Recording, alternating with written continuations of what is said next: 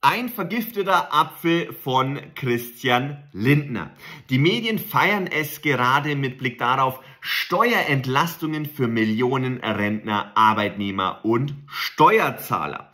Doch ist das wirklich so ein Geschenk, was in dem neuen Papier jetzt des Bundesministeriums der Finanzen und auch von Christian Lindner geplant wurde? Da ist durchaus die Frage, ist die Abschaffung der Steuerklasse 3 und 5 hier ein Geschenk oder eher ein vergifteter Apfel, den man anderweitig noch versüßen will, zum Beispiel mit einer weiteren Anpassung des Grundfreibetrags.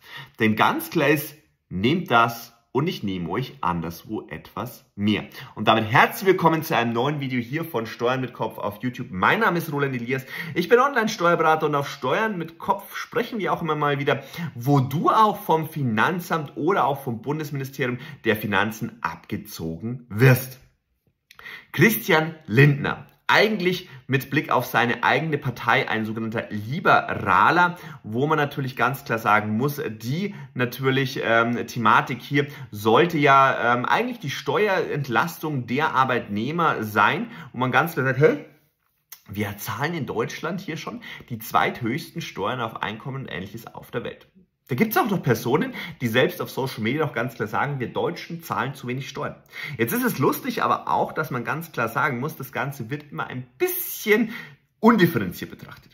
Denn da kommt der erste vergiftete Apfel, den euch Christian Lindner jetzt anscheinend geben will. Und zwar hier mit Blick darauf auf den sogenannten Grundfreibetrag. Dieser soll hier jetzt laut Fokus online, denn das Finanzministerium will offenbar zeitnah den Grundfreibetrag von heute 11.604 auf 11.784 Euro anheben. Und zwar rückwirkend zum 1. Januar 2024. Und gleichzeitig schreibt Fokus hier, die nächste Anhebung ist dann für 2025 geplant. Der Freibetrag schreibt dann auf 12.084 Euro. Ab 1. Januar 2026 soll er dann auf 12.336 Euro steigen. Jetzt sagt man sich, ja cool, habe ich mehr Geld. Aber man versucht natürlich hier immer das Ganze tröpfchenweise zu machen. Das ist schon mal das erste Thema, wo man ganz klar auch sagen muss, selbst die Experten, also sprich nicht die, die in den Amtsstuben sitzen, sondern die, die wirklich von was Ahnung haben, sagen ganz klar, es benötigt jetzt endlich die größte Steuerreform überhaupt. Denn wenn ich es richtig im Kopf habe, die letzte große Steuerreform ist über 20 Jahre her, wo man auch ganz klar sagen muss, wir müssen uns anpassen. Wir müssen uns auch anpassen an die weltweiten Gegebenheiten. Die meisten Länder auf der Welt haben in den letzten Jahren ihre Steuern gesenkt.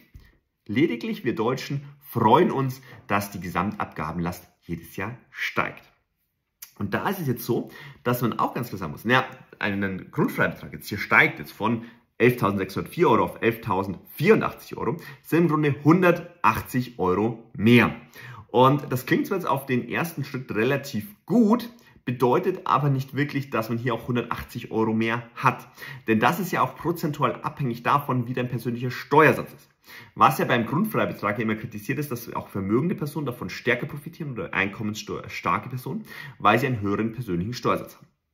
Jetzt ist es aber so, dass man hier einen anderen Weg gehen sollte. Und zwar ganz klar ist natürlich den Grundfreibetrag zum Beispiel auf 2000 Euro pro Monat oder 3000 Euro pro Monat sozial- und abgabenfrei ganz normal erhöhen. Damit würde man die Geringverdiener hier in Deutschland, wo wir heute auch noch zum Video kommen, massivst entlasten. Diese würden je nach Einkommen 500 bis 1000 Euro mehr pro Monat zur Verfügung stehen.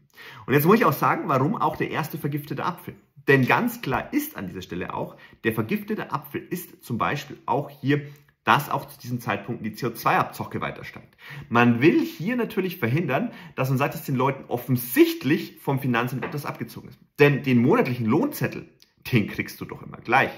Aber das, was hintenrum abgezogen wird, Umsatzsteuer, CO2-Abzocke, LKW-Maut, das spürst du dann ja nur im Supermarkt. Und da ist der böse Einzelhändler schuld. Und da ist es natürlich auch spannend, dass man jetzt zum ersten, ersten nächsten Jahren noch rückwirkend nochmal diese Anpassung äh, durchführt. Weil da habe ich schon immer wieder gesagt, Christian Linden hat auf ähm, Instagram auch ja ganz toll erklärt, ab dem 1.1.24 habt ihr mehr. Richtig, auf dem Lohnzettel, nicht im Geldbeutel. Und da kommen wir auch zum nächsten Thema, denn das ist auch wieder eine ideologische Debatte, die hier gerade geführt wird. Denn man muss ganz klar sagen, dass das hier das nächste Problem aufwirft. Und zwar die sogenannte Steuerklassenabschaffung 3 und 5.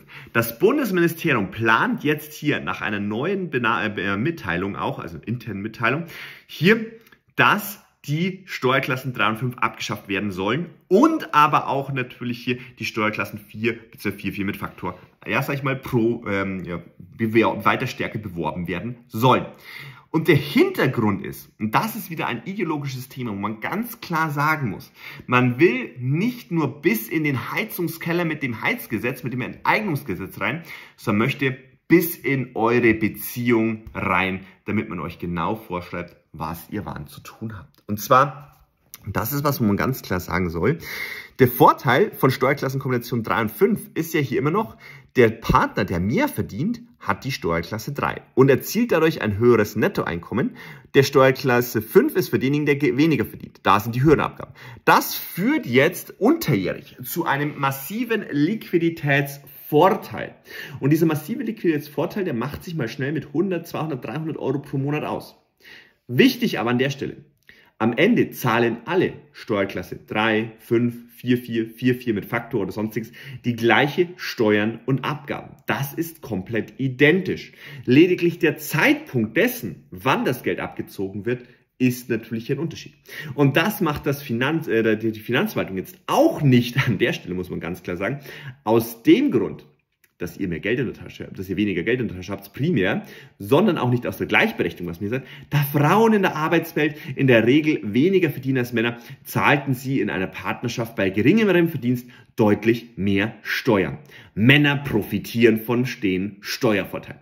Ich kann euch aber ganz klar sagen, warum das ein Plan ist weil der Bundesregierung die Kohle ausgeht. Wer im Grunde mit Annalena Baerbock, Svenja Schulze, Lisa Paus und Nancy Faeser im Grunde die Geldvernichtungsmaschinen überhaupt mit dabei hat, sei es durch Demokratieabschaffgesetz, sei es natürlich durch die Entwicklungshilfe mit Kühlschränken und sonstigen und was weiß ich, positive Maskulinität im Ausland oder auch Annalena Baerbock, die ja Millionen für Grundstücke ausgibt und auch Hunderttausende für ihr eigenes Gesicht und für ihre Frisuren oder aber auch zum Beispiel Nancy Faeser, die, sage ich mal, auf dem linken Auge etwas blind ist und sich jetzt wundert, dass durchaus auch die Messermänner plötzlich in der Öffentlichkeit wieder auftauchen, ist ja völlig egal. Nein, es geht darum, dass man hier mehr Liquidität hat. Denn das bedeutet nicht nur, dass die Familien unterjährig weniger Liquidität haben, sondern auch an der Stelle, dass der Fiskus mehr Liquidität unterjährig hat. Weil so wird alles automatischer, Lohnabrechnung, Arbeitgeber führt Lohnsteuer für dich ab, sofort monatlich an das Finanzamt abgeführt.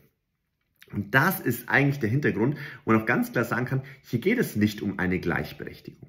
Denn Gleichberechtigung ist nun mal auch das Thema, wo ich ganz klar sage, naja, die meisten Ehepaare, zum Beispiel, wenn ich unsere Mandanten anschaue, die haben zum Beispiel Gemeinschaftskonten oder zum Beispiel ein Einzelkonto und ein Gemeinschaftskonto. Oder aber auch, wo man sagt, eine Aufteilung nach Einkommen. Bestes Beispiel zum Beispiel auch mit Bekannten von mir, die haben ausgerechnet, hey, ich verdiene zum Beispiel 70 Prozent, die Ehefrau verdient 30 Prozent, also zahlt der Ehemann auch 70 Prozent der Kosten. Das sind auch so Modelle.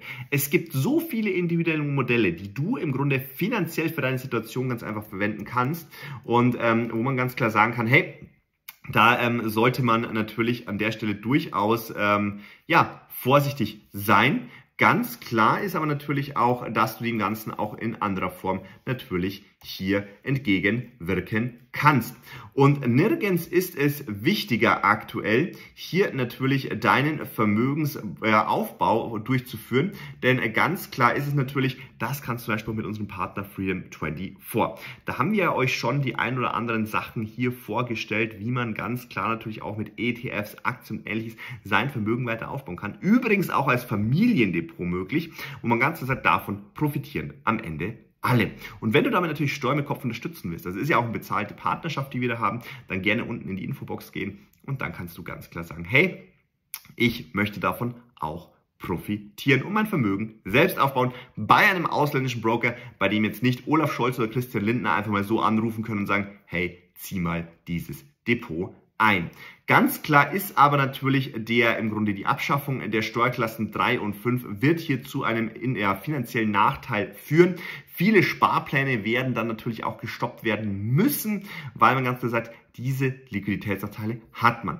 Ganz klar gibt es ja noch eine Besonderheit, wer viele Fahrtkosten, Werbekosten und ähnliche Werbungskosten und ähnliches hat, der kann an dieser Stelle hier durchaus auch einen sogenannten Lohnsteuermäßigungsantrag stellen, immer bis zum 30.11. des laufenden Jahres. Was bedeutet, da kannst du alle deine Werbungskosten schon laufend mit reinnehmen und du sparst sofort mehr Geld.